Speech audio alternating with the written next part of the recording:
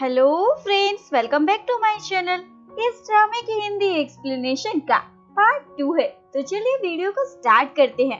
पूरित की अंशो लॉयर को घर बुलाती है और उससे पूछती है, क्या कोई तरीका है जिससे ग्रैंड पा की खोई हुई ग्रैंड डॉटर को ढूंढे बिना ही वसीयत को देखा जा सके?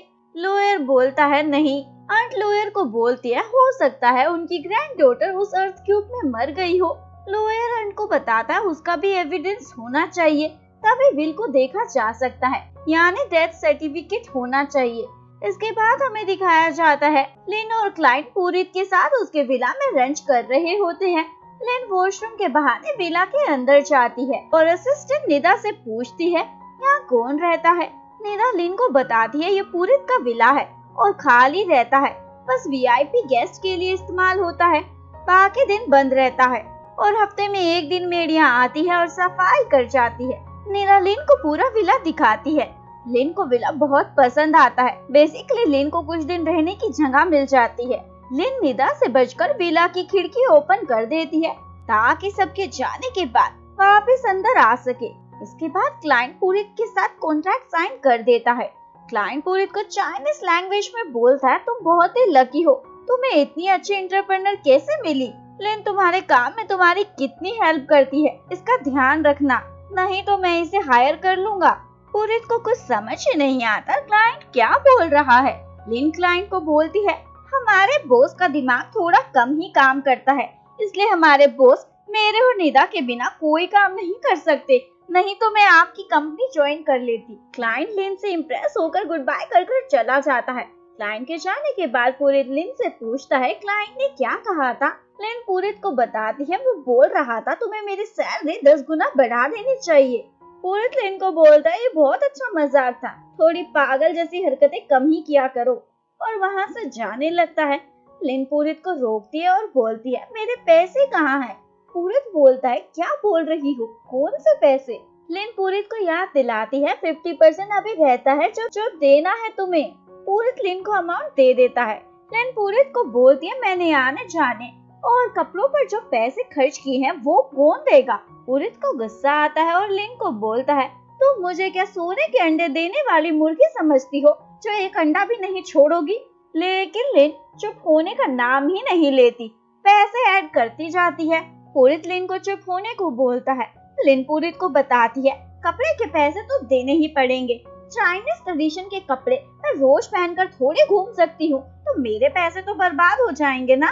पुरित लिन को बोलता है, जो अमाउंट हमारा डील हुआ था, वो मैंने तुम्हें दे दिया है। अगर तुम्हें नहीं चाहिए तो वापस दे सकती हो।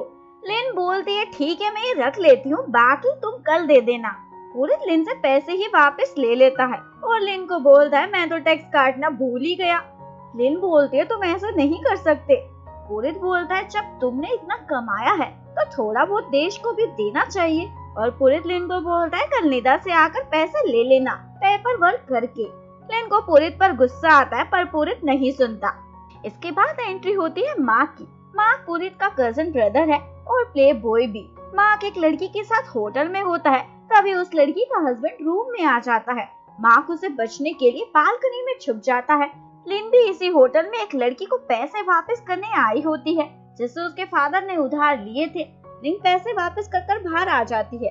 तभी मार्क लिन को देख कर उसे आवाज़ लगाता है और उसकी हेल्प करने को कहता है। लिन मार्क को बोलते है तुम्हें पाँच हज़ार देने होंगे, तभी मैं हेल्प करूँगी। मार्क मान जाता है। लिन मार्क को नीचे उतारने में हेल्प करती है। मार्क लिन को बोलता है, थैंक यू मेरी हेल्प करने के लिए, मैं तुम्हें पाँच सौ रूपए ट्रांसफ़र कर दूँगा। लिन मार्क को बोलती है, पाँच सौ नहीं, पाँच हज़ार की डील हुई है।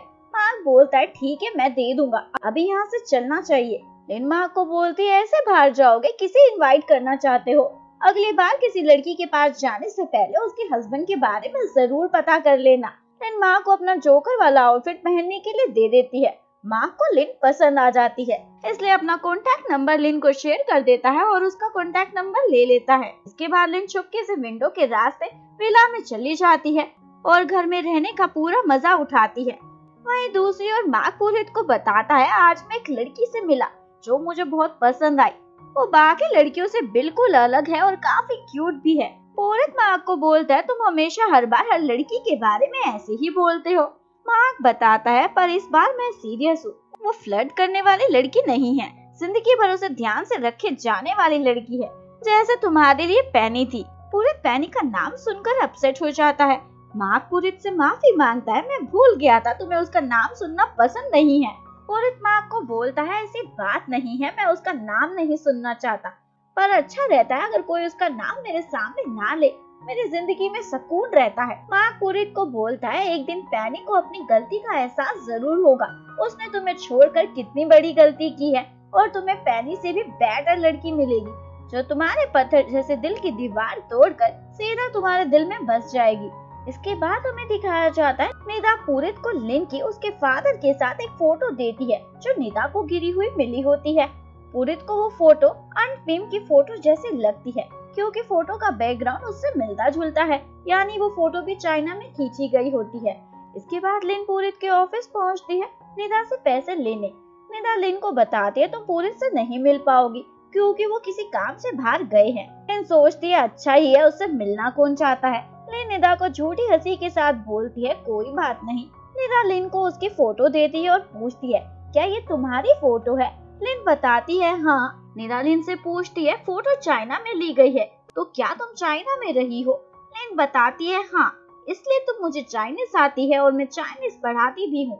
इसके बाद मार्क लिन से मिलने उसके इंस्टीट्यूट आता है, जहाँ लिन चाइनीज़ पढ़ाती है। क्लास खत्म होने के बाद लिन मार्क को बोलती है, तुम यहाँ क्यों आए हो?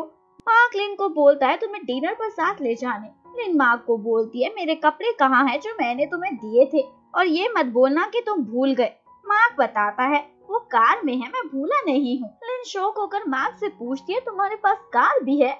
इसके बाद लिन मार्क की महँगी कार देखकर हैरान हो जाती है, क्योंकि लिन को लग रहा था मार्क एक मिडिल क्लास लड़का है।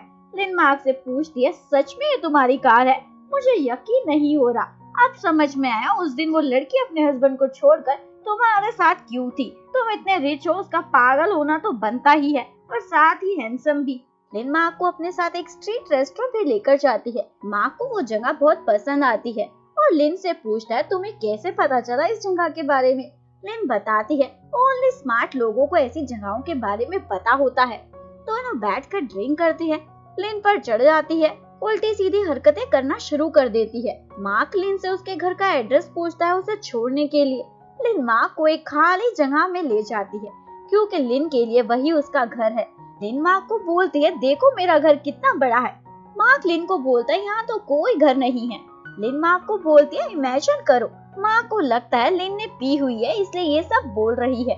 मार्क बोलता है, ठीक है, मैं इमेजिन करता हूँ। लिन अपने ख्वाबों का घर माँ को इमेजिन कराती है। मेरे घर में दो बेडरूम होंगे, एक किचन होगी और मैं और मेरे फादर दोनों साथ में रहेंगे। लिन का एक ही ड्रीम है, अपने फादर के साथ एक घर में रहना। मार्क लिन के सपने के बारे में जानकर लिन को और भी पसंद करने लग जाता है। लिन थक कर वही सो जाती है।